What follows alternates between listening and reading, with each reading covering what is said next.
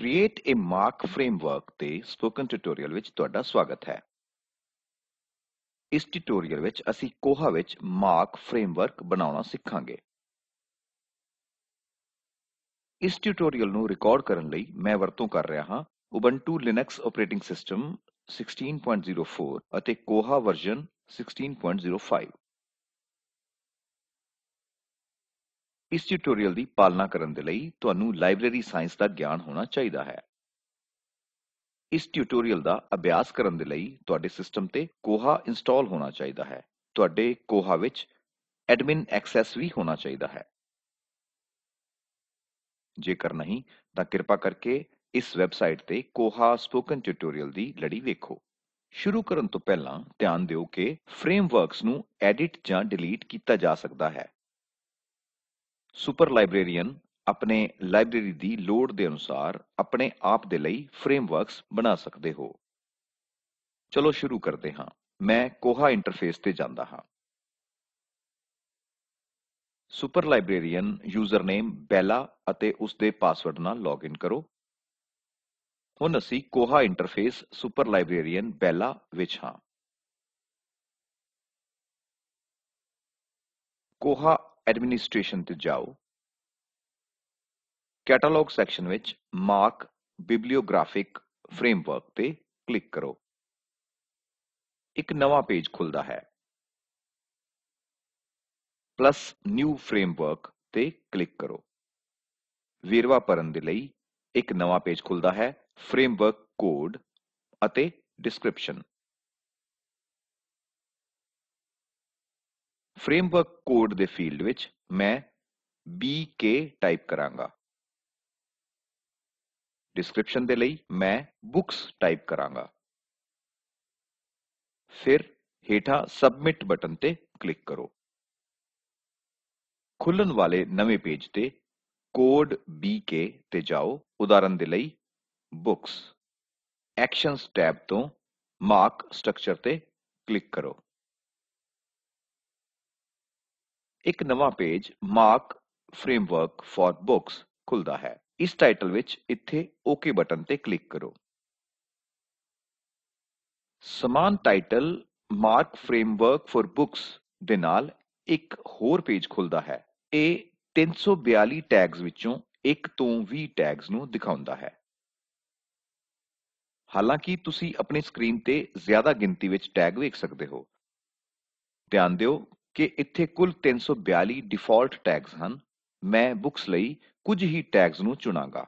ਤੁਸੀਂ ਆਪਣੀ ਲੋੜ ਦੇ ਅਨੁਸਾਰ ਟੈਗ ਚੁਣ ਸਕਦੇ ਹੋ।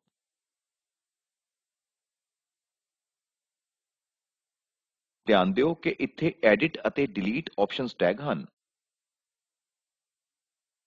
ਮੈਂ ਦਿਖਾਉਂਦਾ ਹਾਂ ਕਿ ਇਹਨਾਂ ਨੂੰ ਕਿਵੇਂ ਡਿਲੀਟ ਕਰਨਾ ਹੈ। ਮੈਂ tag number 010 library of Congress control number ਚੁਣਾਂਗਾ।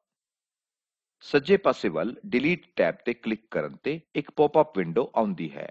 Confirm deletion of tag 010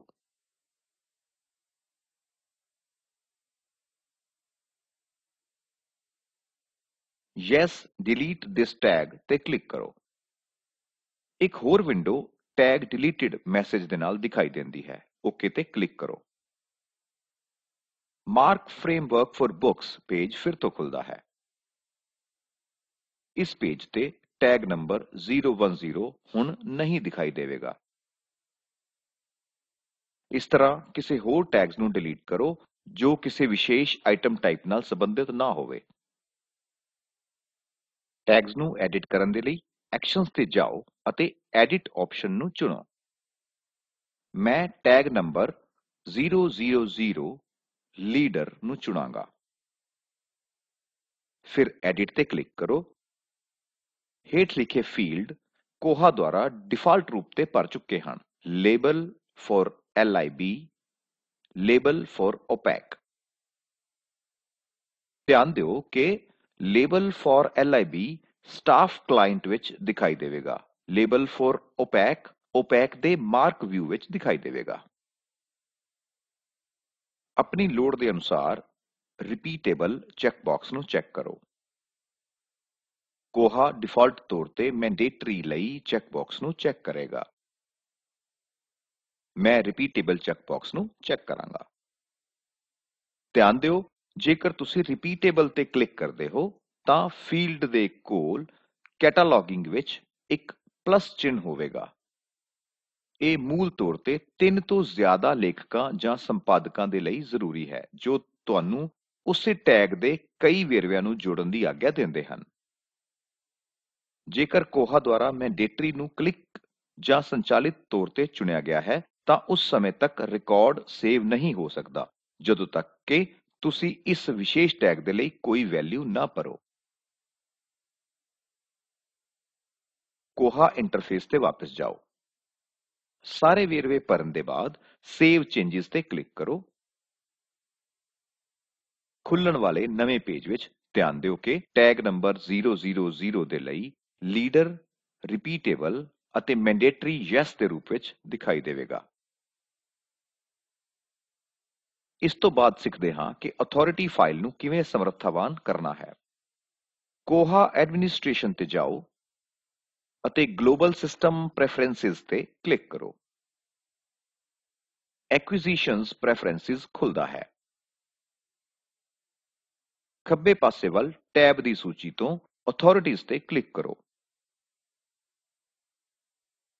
general section ਵਿੱਚ ਵੈਲਿਊ ਆਫ ਪ੍ਰੈਫਰੈਂਸ ਬਦਲਣਾ ਸ਼ੁਰੂ ਕਰੋ auth display hierarchy ਦੇ ਲਈ ਡ੍ਰੌਪ ਡਾਊਨ ਤੋਂ ਡਿਸਪਲੇ ਚੁਣੋ auto create authorities ਦੇ ਲਈ generate ਚੁਣੋ biblio adds authorities ਦੇ ਲਈ allow ਚੁਣੋ don't merge ਦੇ ਲਈ do ਚੁਣੋ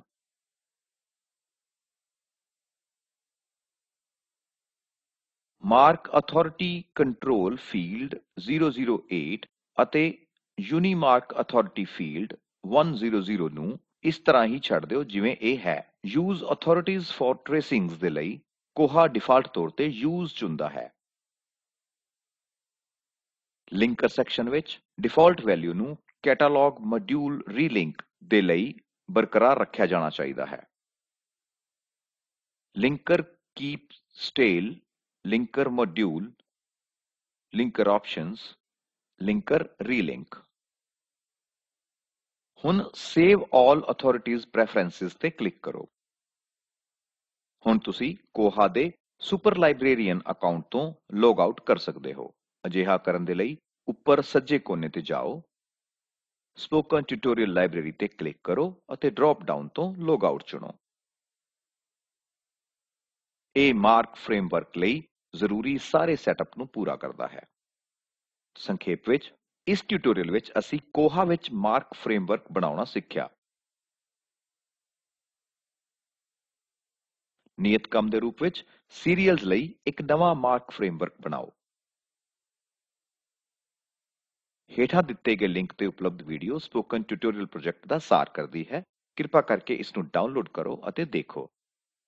Spoken tutorial project team spoken tutorial ਦੀ ਵਰਤੋਂ ਕਰਕੇ ਵਰਕਸ਼ਾਪਾਂ ਚਲਾਉਂਦੀ ਹੈ ਅਤੇ ਪ੍ਰਮਾਣ ਪੱਤਰ ਵੀ ਦਿੰਦੀ ਹੈ। ਜ਼ਿਆਦਾ ਜਾਣਕਾਰੀ ਦੇ ਲਈ ਕਿਰਪਾ ਕਰਕੇ ਸਾਨੂੰ ਲਿਖੋ। ਕਿਰਪਾ ਕਰਕੇ ਟਾਈਮ ਦੇ ਨਾਲ ਆਪਣੇ ਪ੍ਰਸ਼ਨਾਂ ਨੂੰ ਇਸ ਫੋਰਮ ਵਿੱਚ ਪੋਸਟ ਕਰੋ। ਸਪੋਕਨ ਟਿਊਟੋਰੀਅਲ ਪ੍ਰੋਜੈਕਟ ਨੂੰ NMEICT MHRD ਭਾਰਤ ਸਰਕਾਰ ਦੇ ਦੁਆਰਾ ਫੰਡ ਕੀਤਾ ਜਾਂਦਾ ਹੈ। ਇਸ ਮਿਸ਼ਨ ਤੇ ਜ਼ਿਆਦਾ ਜਾਣਕਾਰੀ ਇਸ ਲਿੰਕ ਤੇ ਉਪਲਬਧ ਹੈ। IIT ਬੰਬੇ ਤੋਂ ਮੈਂ ਨਵਦੀਪ, ਤੁਹਾਡੇ ਤੋਂ ਇਜਾਜ਼ਤ ਲੈਂਦਾ ਹਾਂ। ਸਾਡੇ ਨਾਲ ਜੁੜਨ ਲਈ ਧੰਨਵਾਦ।